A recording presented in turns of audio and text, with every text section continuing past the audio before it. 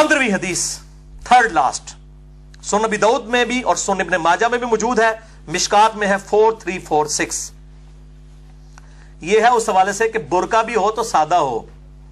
یہ نہ ہو کہ اٹریکٹیو ہو۔ آپ صلی اللہ علیہ وآلہ وسلم نے فرمایا، جو کوئی دنیا میں شہرت کا لباس پہنے گا، قیامت والے دن اللہ تعالیٰ اسے ذلت کا لباس پہنا دے گا۔ یعنی اس میں مرد بھی شامل ہیں۔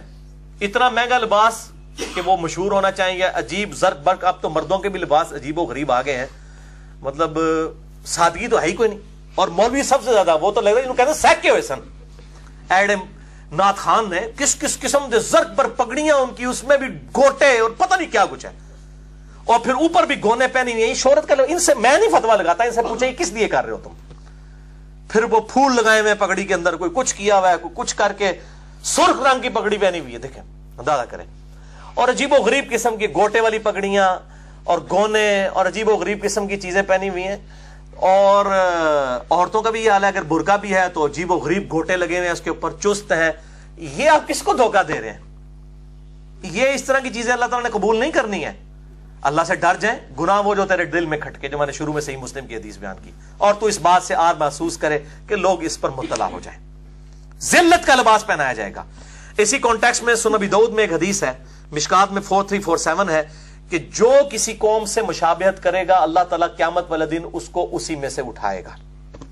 اگر کوئی بے پردہ عورتوں کی مشابہت اختیار کرتا ہے یا بے پردہ عورتوں کے جو ایکٹیویٹیز ہیں، غلط، ان کی مشابہت اختیار کرتا ہے ہے وہ برکے کے اندر ہے عورت، وہ اسی میں شامل ہوگی۔ بلکہ ابھی یہ جتنی برے کام کرنے والی عورتیں ہیں، انہوں نے برقے پہن لیے ہیں۔ اور لوگ کہتے ہیں جی اور جن نے جی برقے والیاں کر دیا نا، تو انہوں نہیں پتا، دل کا پردہ ہوتا ہے۔ دیکھو۔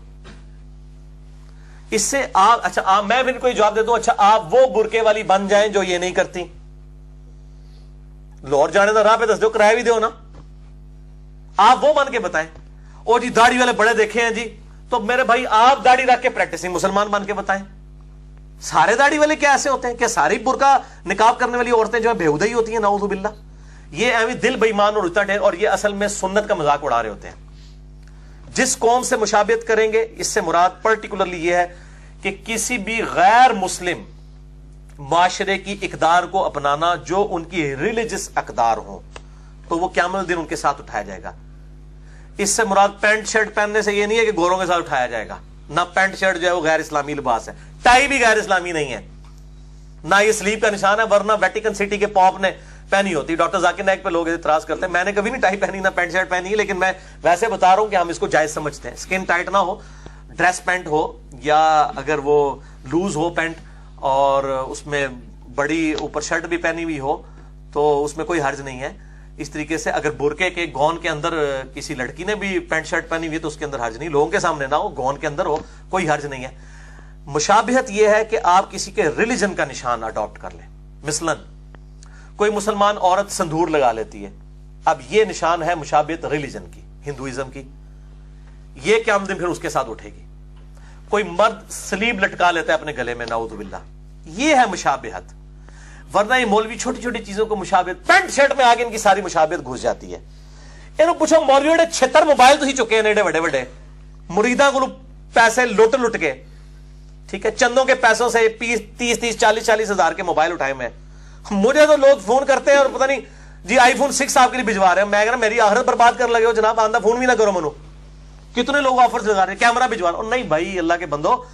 ہم کو یہ اس کے لیے چندہ میں مجھے اب اس دعوت کے کام میں اندازہ ہوا ہے کہ ہم مانگتے نہیں ہیں تو ہم کروڑوں روپے جمع کر سکتے ہیں لوگوں سے لے کے۔ بغیر مانگے۔ ان کو تو ملے کے لوگ نہیں جانتے۔ ہمیں تو الحمدللہ پوری دنیا کے سارے سارے بڑے اعظموں میں لوگ سنتے ہیں۔ اور انشاءاللہ میں آپ کو خوشخبری بھی بتا رہا ہوں ان قریب ہمارے ویڈیو لیکچرز انگلش ڈبنگ اور انگلش سب ٹائٹل کے ساتھ بھی آئیں گے انشاءاللہ۔ انشاءاللہ اس پہ ہم نے ورکنگ شروع کر دی ہے۔ انشاءاللہ تعالی۔ پھر یہ رہی صحیح کسر بھی نکل جائے گی۔ پھر آپ دیکھیں یہ جو مشہور مشہور مبلغین ہیں، ان کا پھر معاملہ کیا ہوتا ہے؟ اللہ تعالیٰ ان کو بھی ترقی دے، ہم لوگ کوئی ترقی کے لیے یا پیسے ہتھیانے کے لیے کام نہیں کر رہے۔